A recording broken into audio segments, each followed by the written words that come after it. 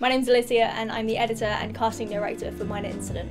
My role as editor entails cutting all the footage together to make sure the story runs naturally so the audience doesn't get taken out of the idea of this whole story world.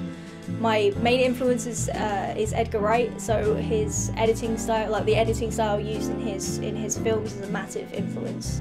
I'll be using kind of fast cuts to music to sound effects. I'll be heavily involved in, in matching that. So um, it's a it's a audio visual kind of world. I've had previous work at a post production company just as a runner, just kind of overseeing things. It's given me a good idea into the into the workflow of a post production company, and I think it'll it'll help me, you know, lead the post production team.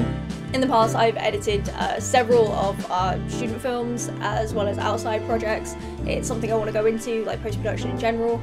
Um, so I think this is uh, a massive step forward.